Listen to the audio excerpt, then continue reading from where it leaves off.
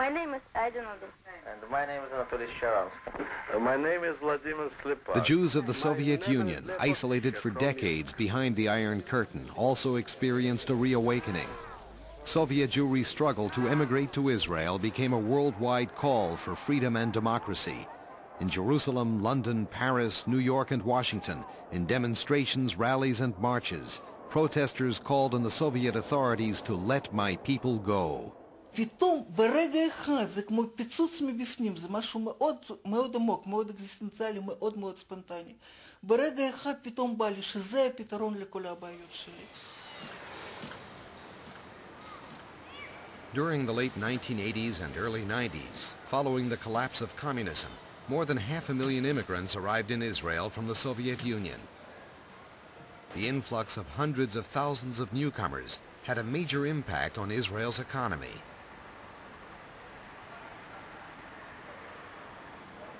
More people working, more people looking for work, more people consuming, more tastes, more variations.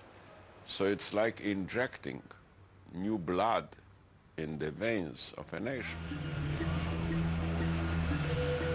In the early 1990s, Israel encouraged the remaining Jews of Ethiopia to emigrate.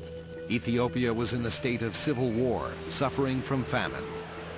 אותו יום שבו שמענו על פינוים של יהודים מאדיס אבבה עם מטוסי חיל האוויר שלנו, היה אחד הימים המרגשים בחיי. חשבתי שזאת הייתה איזו הפגנה מרהיבה של ערכים שכולנו מאמינים בהם. להיחלץ לעזרתו של יהודי בשעת צרה, שכוח המגן העברי יסייע לנו בכך, שהשירותים החשאיים של ישראל יהיו הזרוע החזקה שלנו ויחדרו גם למקומות שקשה לחדור. כלומר, כל מה שחשבנו שתהיה ישראל ביחסי עם יהודי התפוצות, כל, ה... כל החלום הזה, הנה אנחנו החזקים, אנחנו הגאולים, מושיטים יד וגואלים את אחינו, זה היה שם. In Operation Solomon, some 15,000 new immigrants were flown directly from Addis Ababa to Israel. Their arrival became a national event. אתיופיה, חיינו כיהודים בכפר של יהודים, מוקפים בהרבה כפרים נוצרים, ונלחמנו נגדם הרבה מאוד פעמים, והושפלנו בגלל היהדות שלנו. ובכל זאת הרבה מאוד יהודים שמרו על היהדות שלהם. The first wave of immigration from Ethiopia arrived in Israel in 1984. Thousands of Ethiopian Jews, almost forgotten for generations, resurfaced in a dramatic secret exodus. Their wrenching, dangerous journey across the African desert and mountains en route to Israel captured the imagination of the world. It is remarkable how contemporary immigration recalls the images and experiences of Israel's beginnings.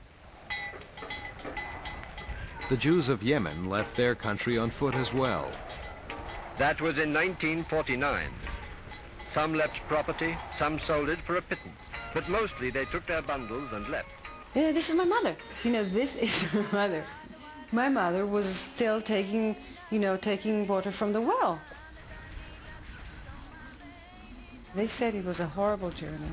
One month of walking in the sand, in the deep sand, in 40 degrees centigrade. And uh, people were dying like flies. That's what my mother told me. And they were burying, she herself, remember, burying her grandfather, uh, babies. A lot of people didn't take it and died.